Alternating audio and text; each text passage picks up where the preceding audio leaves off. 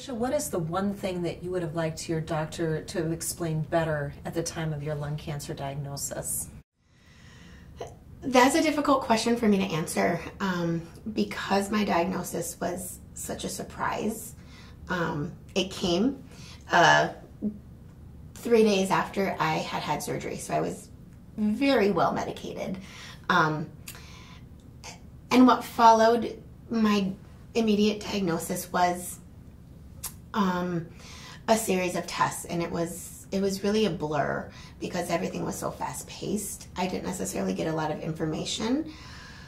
In terms of the diagnosis, I knew that I had non small cell squamous cell lung cancer. And so that's kind of what I did my research on. But as far as what I wish my doctor would have told me, there wasn't much at the time. Um, the immediate response was to treat it very aggressively. And so I, I trusted my doctor in doing so. Um, I did have a second opinion, which was pretty traumatic in, in the sense of, of what their second opinion was in my diagnosis and prognosis.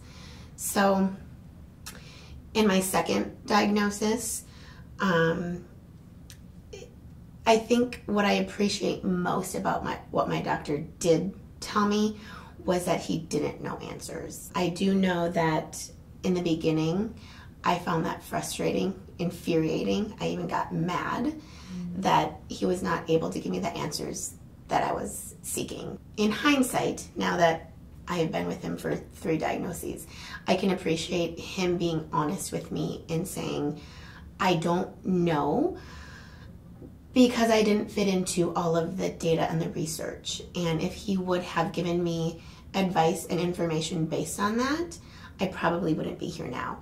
So I, he did go against um, some data and some research in, in prognosing my outcome. And I can appreciate that now. And, and him saying that he didn't know the answers and he didn't know the outcome, but he was going to try his damnedest to do his best to kick this in the butt and have a longevity. So I, I can appreciate what he did tell me in the fact that he didn't tell me anything.